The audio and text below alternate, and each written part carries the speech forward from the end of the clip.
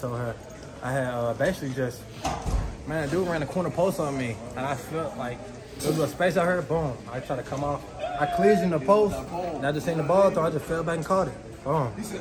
Got up. I thought uh, I thought uh, AJ was gonna touch me down. I seen a lot of legs next to me. I just got up. I, oh, he didn't touch me. I'm take off running. You almost had it at the end. It's like Almost. I, uh, 30 had pushed me in the back. I had juked him first. He ran out of bounds.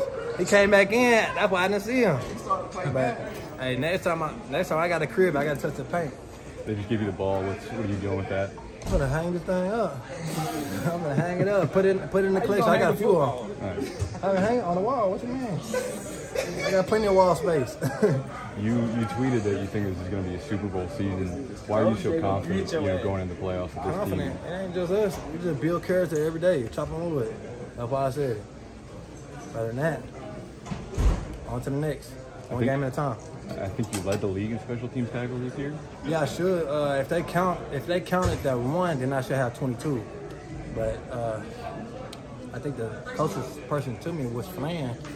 He got knocked out of the game the first kickoff. They had kind of blindsided him. Other than that, shoot, I think I should be leading the league in special tackles. Sure. Oh yeah, watch, you better watch the kickoff return too. I'm throwing people on the ground. What, does- what does it mean to you to be physical on special teams like that? Uh, I just you gotta show your presence every time. Like if somebody don't feel you, they think they can get over. on you. So when they feel you, they feel you. So that's all I'm saying. I'm coming full speed. Other than that, have a good game. Appreciate you. Yes, sir. Thank Thank you. Thank you man. Appreciate you guys finished number one in interceptions as a defense. Yeah, I had three. yeah. Yes, you had three today, but I, I'm thinking back to training camp where you guys had a ton of them. Did you guys feel throughout this year that, that, that you could lead the league in that category? Well, thinking about it, going during my training camp, shoot, I didn't think Gip was on. Gip came crazy this year. Five on, He talking about Gip came Yeah. crazy. man, five interceptions in one season. He had six back in Sell, 2014. Yeah, he had five.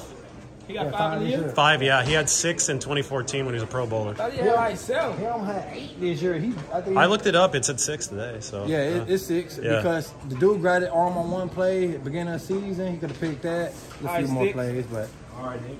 hey, he eating. I Yeah, can't, he I is. can't complain. Sure, I got there for the last five minutes. I got a pick. Huh? Hey, I'm eating too.